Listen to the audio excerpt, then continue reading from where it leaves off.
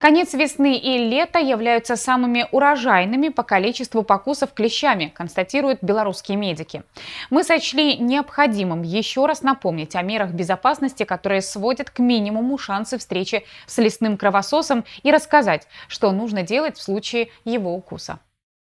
С началом сезона активного отдыха на природе интернет запестрел разными советами, как бороться с клещами, которых в Беларуси с каждым годом становится все больше. Боязнь быть укушенным и изобретение разных народных методов имеют под собой основания. Клещи являются переносчиками инфекционных заболеваний. На нашей территории это болезнь Лайма и клещевой энцефалит, которые могут привести к тяжелым последствиям.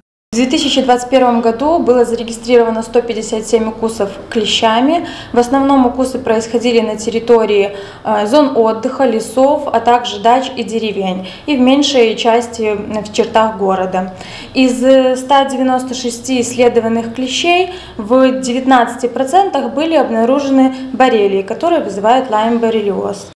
Как сообщают специалисты Зонального центра гигиены и эпидемиологии, в этом году клещи активизировались очень рано. Первые случаи покусов опасными кровососами стали регистрироваться уже в феврале. Из-за раннего потепления наблюдается ранняя активизация клещей в природе. Первые ксодовые клещи были обнаружены уже 11 февраля, а первые укусы зарегистрированы 28 февраля.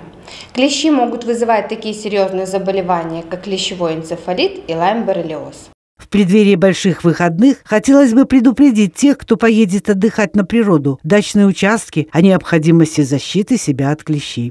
Клещи не летают и они не прыгают. А наблюдения показали, что они главным образом располагаются на нижнем ярусе растительности, на уровне стоп, голени идущего человека. Основная мера защиты – это защита себя от укусов клещей, используя все необходимые средства индивидуальной защиты или отпугивающие средства репелленты. Они наносятся на поверхность одежды, либо на поверхность кожи, согласно инструкции по их применению. Вот почему так необходимо тщательно проводить каждый час само- и взаимоосмотры после посещения леса, дачи, парка для обнаружения и снятия клещей. Чем раньше вы обнаружите членистоногое, тем минимальнее будет возможность заражения. При обнаружении присосавшегося клеща необходимо своевременно обратиться в ближайшее место организации здравоохранения, где вам окажут первую медицинскую помощь.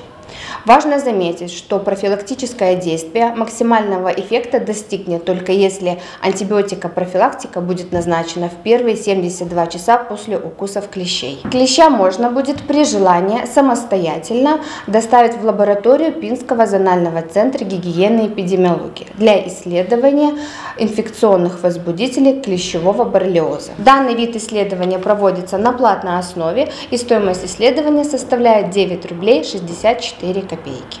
Если вы постоянно находитесь на ограниченной территории, например, на дачном участке, на которой обитают клещи, то эту территорию можно обработать специальным средством, убивающим клещей. Пинский зональный центр гигиены и эпидемиологии с профилактической целью проводит акарицидные обработки территорий и дачных участков. Данный вид услуг оказывается по разовым заявкам специалистов. Стоимость а, разовой а, заявки 1 сотой гектара составляет 5 рублей. Клещ – это не насекомое, поэтому средства от комаров и других кровососущих насекомых на клещей не действуют. Чтобы защититься от них с помощью спрея или крема, покупайте средства именно от клещей. В связи с тем, что территория Пинского региона является эпидемиологически неблагополучной по клещевому энцефалиту, также и в этом сезоне мы рекомендуем населению соблюдать все профилактические мероприятия и заботиться о своем здоровье.